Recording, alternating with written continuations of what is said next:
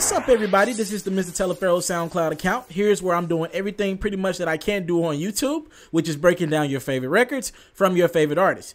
If you like what you hear, you can follow me on Twitter, Instagram, and Facebook, all at is Mr. Taliaferro. That's I T S M R T A L I A F E R R O. Yes, sometimes I forget how to spell it myself. You can also subscribe to my YouTube channel, which is my most popular platform, at is Mr. Taliaferro, and check out my website, itsmrt.com.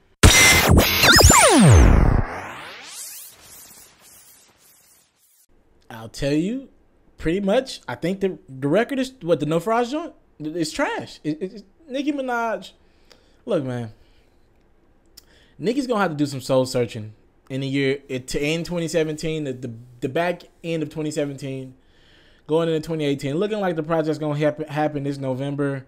Now it looked like they're pushing it off. I thought she was trying to drop soon, um, but it looks like Nicki's gonna try to drop this project in the winter slash maybe late fall. Um, but if No Frauds is gonna be the lead track off the album, this album probably is not gonna be that spectacular. I'm not gonna lie to you.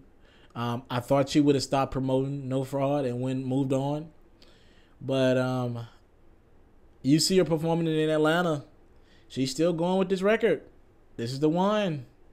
She's still promoting it as her best song to date. This so far this year. So the record, the, the bars are decent in the record. I was going with the fact that she said she didn't make a diss. She don't make diss records. She make hit records. So if it would have been a hit, everything would have been what she wanted. Because Remy would have had to hear this song over and over again. Well, this song doesn't get played like that. Just cut it out. Cut it out. You hear it from time to time on the radio. That's it. Drake's verse is decent. Wayne's is trash. Well, everything Wayne puts out to me nowadays is it's not what we're accustomed to seeing. Maybe it's just age. Maybe we're just getting older and hip hop's changing and I don't know. But my greats, like Wayne, Drake, and Nicki, the ones that I grew up listening, well, my teenage era, I'm just not impressed. And the irony is that all three of these people got on the record.